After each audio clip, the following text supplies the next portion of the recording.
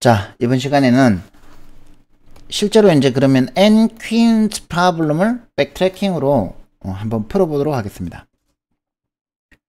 어, 제일 먼저 해야 될 일이 promising function을 우리가 고려하는 거죠, 그죠?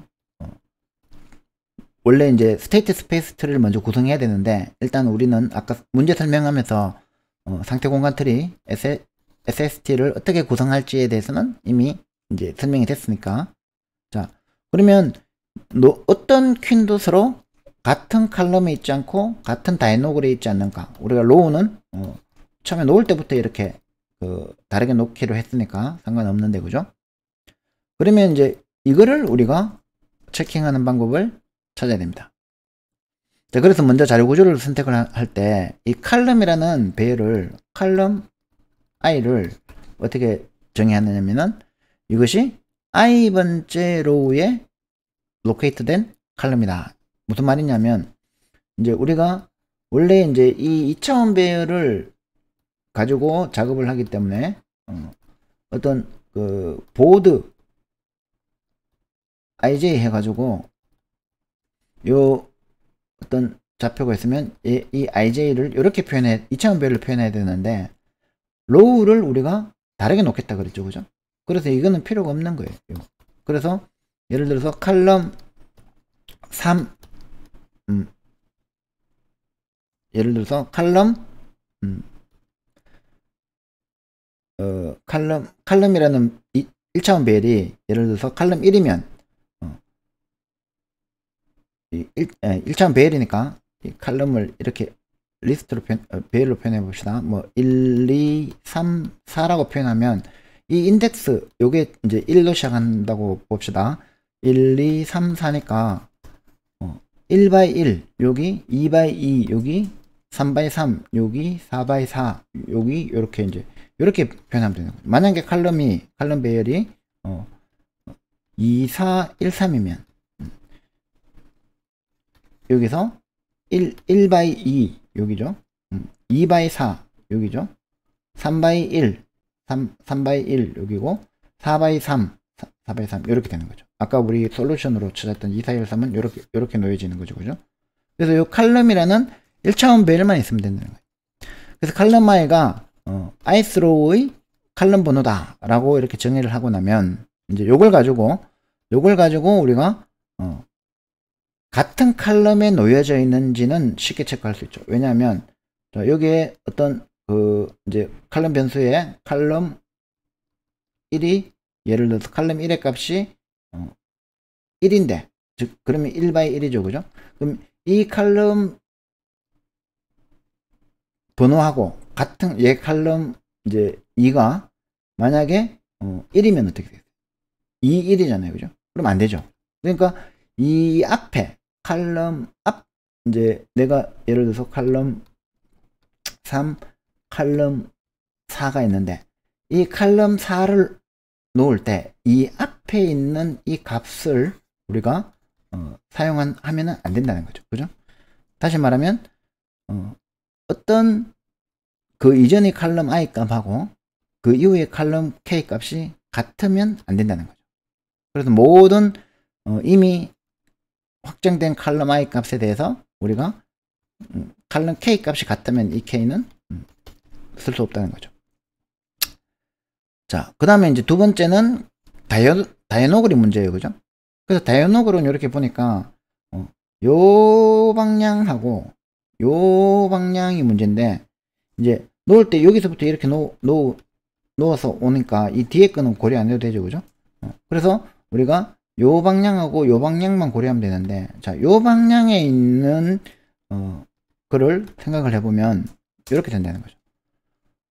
이 칼럼 6이 지금 현재 1, 2, 3, 4잖아요. 그죠? 어, 얘가 칼럼 3인데 얘가 1이죠. 그죠? 그럼 4 빼기 1 하면 칼럼 6에서 칼럼 4를 빼면 아 칼럼 3이네. 칼럼 3을 빼면 4 빼기 1 하면 3이 되죠. 이게 뭐하고 같아요? 6 빼기 3한 거하고 같죠. 3하고 4 빼기 1하면 3.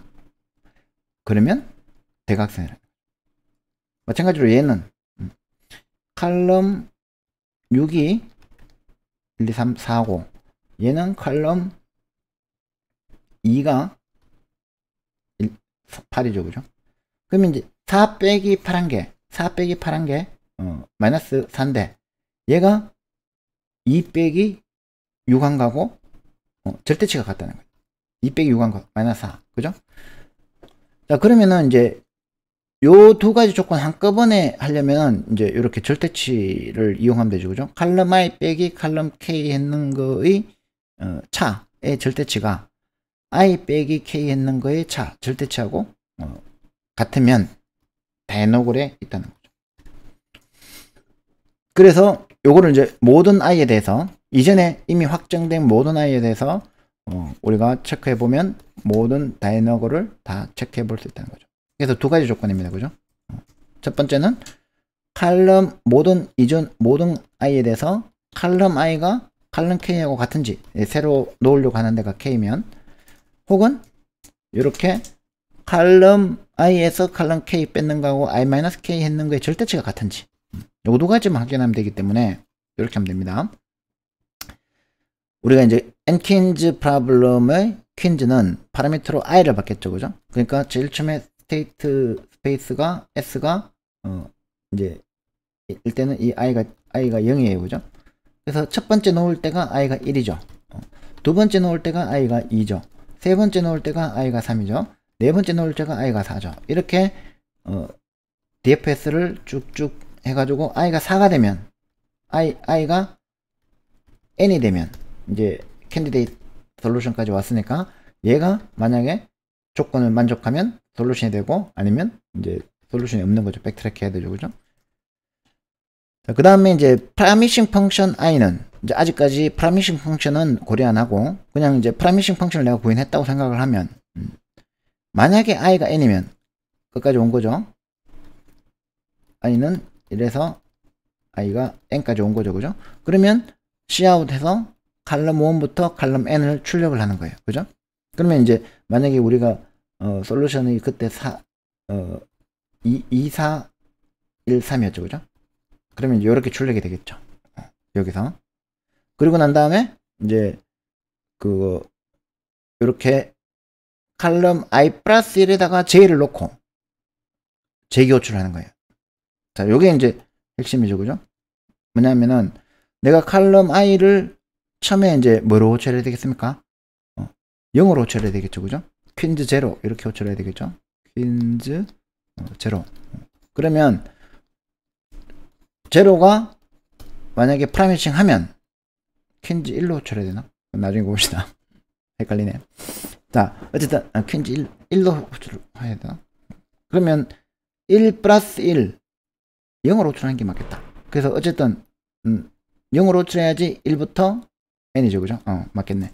자, 그러면은 이제 column i가 i 플러스 1에 j를 놓는다. 이 말이면 i가 0일 때 i가 처음에 starting 그 vertex 어, node에서 0이잖아요. 그죠?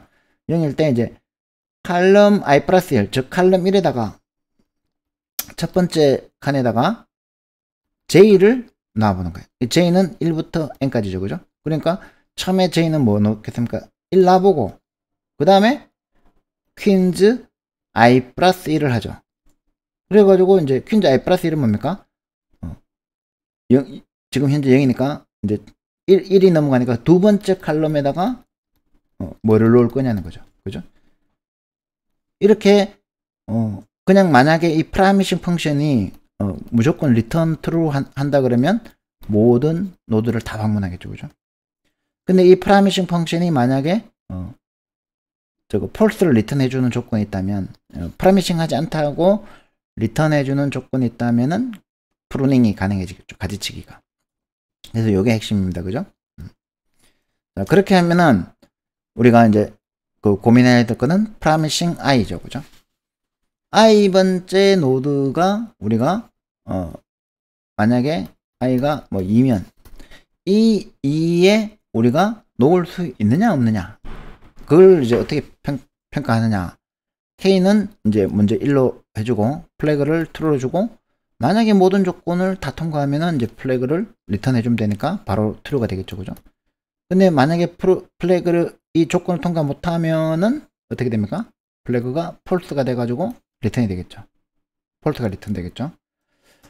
자, 그래서 이제 우리가 지금 찾아낸 조건은 딱 두 가지예요. 그죠? column i가, column i가 칼럼 k하고 같으냐. 모든 k에 대해서. 그러니까 이 k는 어, i보다 작을 때니까 기존에 추가했던 요 i보다 i 값보다 이 i 값보다 작은 모든 k에 대해서 즉 이미 칼럼 1, 칼럼 2 해서 이 칼럼 3까지 했다고 치면 이제 칼럼 4가 왔을 때이 어, i는 1, 2, 3에 대해서 모두 확인해 봐야 되잖아요. 그죠? 어.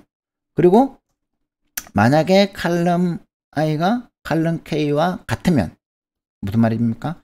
어, 로우가 충돌 난다는 거죠. 그죠? 음, 아, 칼럼이 충돌 난다는 거죠. 같은 줄에 있다는 거죠. 혹 또는 음, A 어, 칼럼 i 마이너스 칼럼 k의 ABS 절대치가 음, i 마이너스 k하고 같다. 아까 살펴봤죠? 대각선에 뭔가 충돌이 있다는 거죠. 어.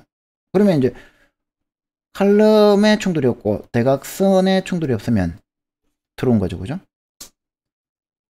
자, 이렇게 해가지고 이제 해보면 이미 그 저거 엔켄즈 구현이 다 끝난 겁니다. 생각보다 간단하죠, 그죠? 문제를 이해하고 프라미싱 펑션 만드는 게 어렵, 어렵지 어, 구조 자체는 한번 이해하고 나면 적용하는데 굉장히 쉽습니다. 이 promising function만 다 달라지는 거예요. 문제마다. 자, 그 다음에 이제 complexity analysis를 한번 해봅시다. 어, 지금까지 우리가 complexity analysis는 어, source code 보면 금방 이해가 됐죠, 그죠? 어, 그래서 한번 얘도 한번 시도해 봅시다. 자, promising을 하고 그 다음에 재귀 호출을 하죠, 그죠? 자, 여기서도 보면 프라미싱에서도 보면 화일문 돌려, 그죠? 음, 조건에 따라서 자, 그런데 이제 이게 복잡해요. 왜 그러냐? 한번 봅시다. 자, 프라미싱에 if 프라미싱 하면 재교출을 하니까 ti 플러스 1을 재교출하니까 우리가 이 tn은 음, tn-1 더하기 뭐 알파라고 합시다. 그죠? 이렇게 이제 재교출을 하니까 이 재교출을 몇 번 합니까? n번만큼 하죠. 어, 그래서 n 곱하기 t n-1이 됩니다. 그죠? 이렇게 되면 어, 이게 n의 n승이 될 것 같다라는 생각은 쉽게 할 수 있겠죠. 그죠? 음. 우리 마스터 시오렘을 적용해도 됩니다. 그죠? 자, 여기서 벌써 n의 n승이 될 것 같다라는 어, 불길한 예감이 드는데 어, 이 안에 들어가서 또 이, 이것도 보니까 또 for문이 또 들어요. 그래서 이걸 따져보면 자, upper bound를 우리가 그냥 low level로 전체 트리를 한번 생각해 봅시다. 자, 처음에 S에서 subtree가 몇 개죠? N개죠. 그 다음에 또 각 노드의 subtree가 N개죠. 그러면 N 곱하기 N이, 그, N이니까 N제곱이 되죠. 그래서 1 더하기 N 더하기 N제곱 더하기 N3 더하기 N의 N승이니까 N-1분의 N의 N 플러스 1승 마이너스 1. 엄청 큰 트리가 됩니다. 그죠? space, 이 entire space state space tree는 상태 공간 트리 자체가 노드의 개수가 n의 n승이에요. 음, 엄청 크죠, 그죠? exponential 한 것 중에서도 최악의 exponential이죠, 그죠? 자, 그러면은, 만약에 n이 8이면, 이 상태 공간 트리, SST의 노드 개수는 8-1분의 8의 9승 마이너스 1이니까, 어, n이 8만 돼도 8, 8 by 8, 8, 8 queens problem만 해도, 어, 이미 1900만 노드를 방문해야 돼요. 그냥 일반 PC로는 전체 방문하면 이제 그 하루 이틀 만에 결과를 볼 수가 없습니다. 자, 그러면 이제 근데 우리가 그 이렇게 무식하게 상태 공간 트리 방문 다 안 하죠, 그죠? 먼저 우리가 제일 먼저 했던 게 뭡니까? 어, 이 promising 노드를 우리가 그 만드는 upper bound를 어, 다시 한번 생각을 해보면 어, 우리가 처음에 이제 같은 어, 같은 칼럼에는 안 넣는다 그랬죠. 이렇게 처음에 놓고 그 다음에 나왔잖아요. 그죠? 그러니까 처음에 놓고 무조건 그 다음으로 가니까 이 한 개 놓으면은 요 나머지는 고려할 필요가 없잖아요. 그죠? 그걸 생각하면 처음에 한 개고 n이고 그 다음에 n 제곱이 아니라 n, n 곱하기 n-1이 되죠. 그죠? 한 개 뺐으니까. 그래서 n 곱하기 n-1 n-2 해가지고 n factorial n입니다. 근데 어차피 이게 또 factorial이죠. 그죠? 그리고 이제 n이 이거 8일 때를 대, 입해가지고 계산을 해보면 이게 10만 9,601 개의 promising 노드가 나옵니다. 이게 이제 최, 최악의 경우겠죠. 그죠? 어, 이게 1900만보다는 10만이니까 확 줄었죠. 개수가. 그럼에도 불구하고 10만 개라는 거죠. 자, 그런데 그러면은, 어, 우리가 결국에는 이렇게 상태 공간 트리를 탐, 탐색하면서 자, 얘가 결국에는 pruning을 하는데 어, 정확하게 pruning을 몇 개를 할까? 어, 그래서 우리가 정확하게 방문하는 노드 수가 몇 개일까라는 것을 음, 계산할 수가 없는 거예요. 계산이 너무 어려워요.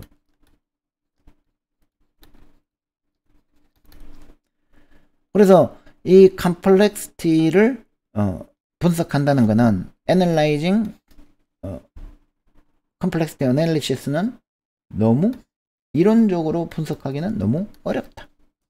그래서 대부분 backtracking 알고리즘을 구현하고 나면 이렇게 어, 이론적으로 그러니까 증명 가능한 proof를 하는 게 아니라 어차피 이게 상, 상태 공간 트리 이제 pruning 자체는 어 이제 임, 문제의 상태에 따라서 pruning하는 개수가 달라지고 pruning 함수를 뭘 적용하냐에 따라 다, 달라지기 때문에 우리가 몬테카를로 시뮬레이션을 통해서 몬테카를로 시뮬레이션을 통해서 어, 우리가 그냥 실험을 해보고 비교를 하는 수밖에 없습니다. 그래서 어떤 알고리즘의 efficiency를 어, 우리가 확정하게 이론적으로 big O of n 제곱이다 혹은 big O of n 삼승이다 혹은 big O of 2의 n승이다 이렇게 확정을 할 수가 없을 때 쓰는 기법이 뭐냐 하면 어, 실제로 한번 다 돌려보고 음.